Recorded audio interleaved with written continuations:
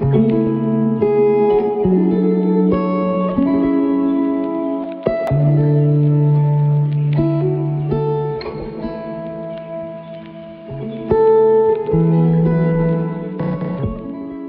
Kitchen में आपका स्वागत है। आज हम बनाएँगे पोहा, जो बहुत ही हेल्दी होता है, बड़ों के लिए भी और छोटों के लिए भी। तो आप कभी भी उसे खा सकते हैं, नाश्ते में या लंच में या ब्रेकफास्ट में कभी भी खा सकते हैं हल्का फुल्का नाश्ता है। तो आइए चलिए हम बनाते हैं।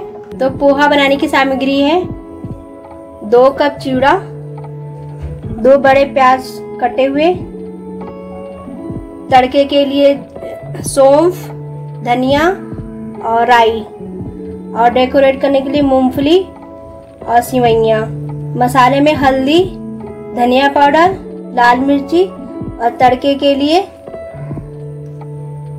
कड़ी पत्ता। चलिए बनाते हैं अब। अब गैस जलाएँगे। गैस पे मीडियम फ्लेम पे कढ़ाई रखेंगे।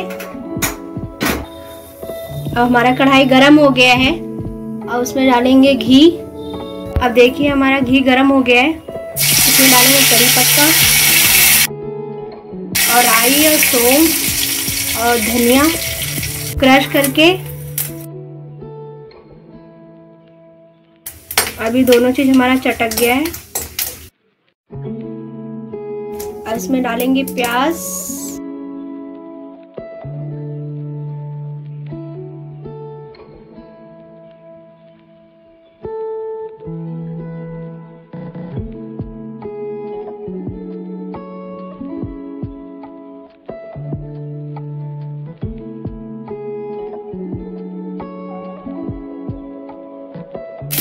आप चाहे तो इसमें और सब्ज़ियाँ भी डाल सकते हैं।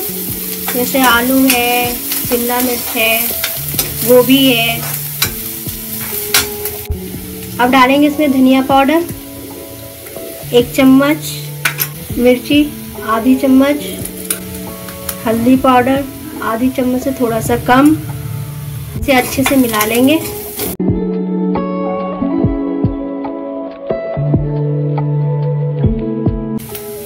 चम्मच नमक।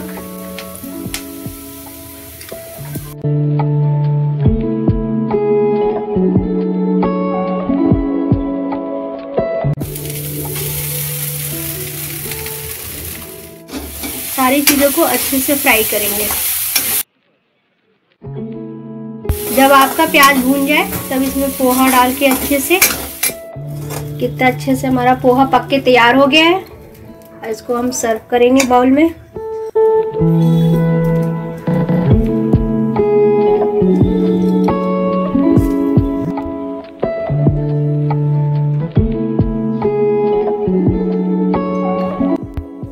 और इसमें डालेंगे नींबू नींबू का रस,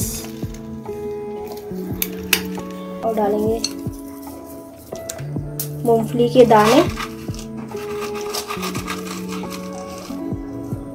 ये देखिए, कितना अच्छा हमारा हेल्थी नाश्ता तैयार हो गया। ब्रेकफास्ट में खा सकते हैं।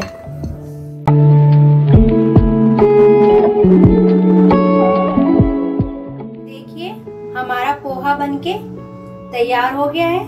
कितना हेल्थी पोहा बना है। और आप खाइए एंजॉय कीजिए और लाइक सब्सक्राइब और शेयर करना बिल्कुल मत भूलिएगा। अगले वीडियो में मिलेंगे। तब तक के लिए बाय बाय।